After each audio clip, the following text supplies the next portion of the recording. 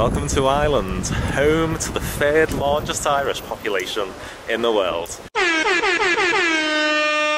I'm exploring Dublin, I'm going to see the Guinness Storehouse, I'm going to see Trinity College, and there's a few surprises in store as well. So come with me for the ride. I'm back in my homeland.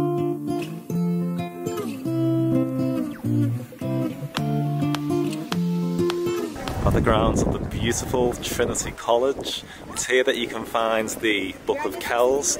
And also, if any of you have ever seen the film Educating Rita, it was filmed right here at Trinity College. There's plenty more to see. Let's have a little look around. If you want to see the Book of Kells and inside Trinity College itself, make sure you book in advance as it's extremely popular and I couldn't get in as a walk-in on the day that I visited. Taking a walk past Christ Church Cathedral in Dublin, it's a great place to stop for a moment and admire the beautiful medieval architecture and find Somerset stonework on display.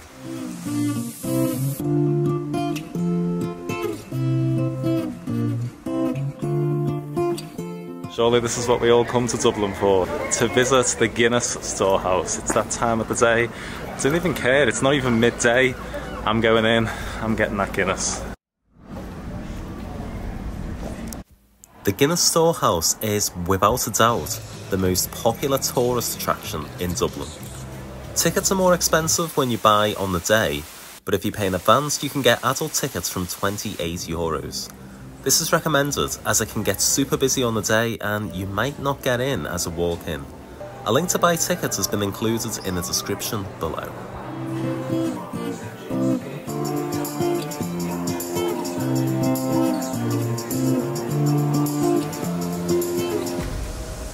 On your way around the storehouse, you'll find out some facts about the production of Guinness.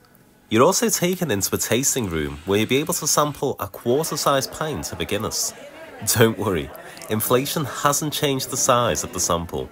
You'll be able to get your full-size okay. pint later so on in the step tour. It's going to be a big deep breath in, okay?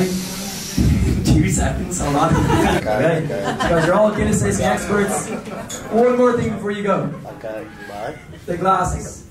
They are adorable. I know. Conveniently pocket sized. I know. You'll also be able to see some of the old advertisements and promotions that Guinness have been so famous for over the past few decades. Some of these are interactive, so selfies at the ready. Create your own Guinness poster with Mike the Travelling Scouser.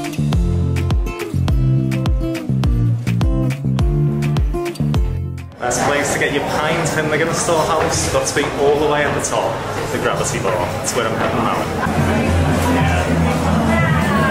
Check out the views all around Dublin Centre from this vantage point. Can't beat it.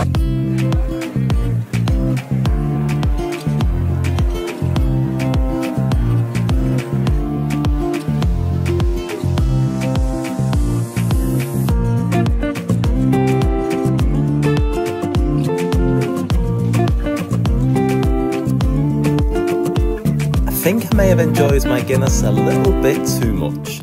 So it was now time to stop for a bite to eat. There's a huge Latin American population in Dublin. We stopped off in a Venezuelan cafe that serves churros.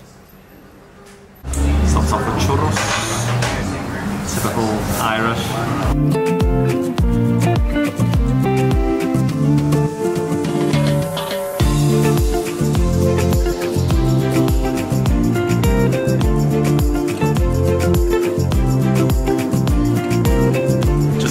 On George Street Arcade. It's a little market, there's plenty of street food, plenty of boutiques here as well. Great place to explore.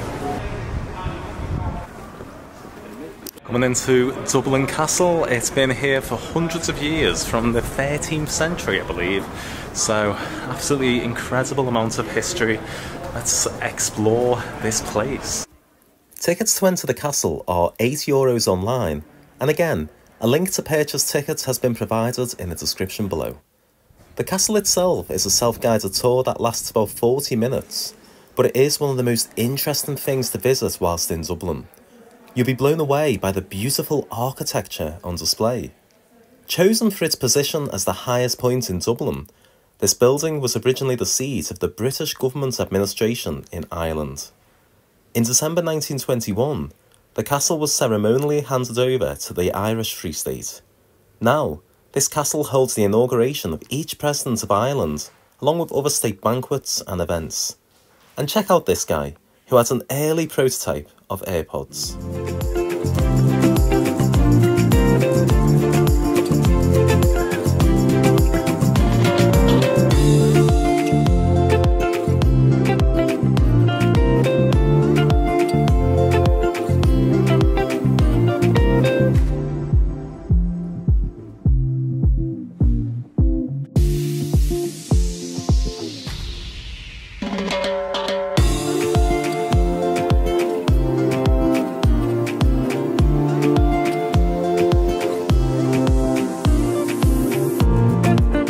The unofficial anthem of Dublin is Molly Malone, and on Suffolk Street you can find a statue in homage of Dublin's most famous lady. And according to the Irish Times, many tourists rub her bosom area in search of good luck.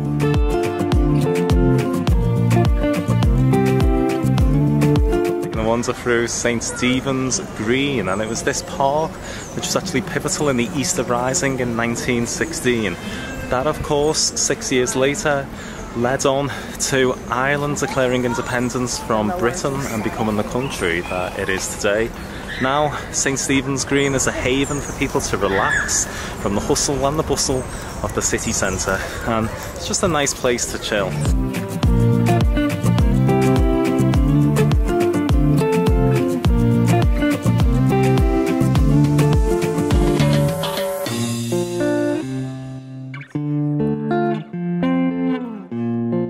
Heading over to the Natural History Museum here in Dublin. It's time to see some dinos, baby. Admission is free as well, so a good place to take the kids. It's not going to beat the budget. Come on, let's take a little look around. Okay, so this doesn't give Jurassic Park a run for its money. There are no dinos on display here, but there are quite a few fossils and stuffed animals that hail from Ireland to be seen. Now, I'll be honest, this place wasn't really my cup of tea, and I did find quite a lot of it quite freaky. But for a little wander free of charge, who am I to argue against that? Welcome to the River Liffey, and this bridge is actually quite famous because this is actually wider than the River Liffey itself. River Liffey is the lifeblood of Dublin, it's a great place just to walk along and explore.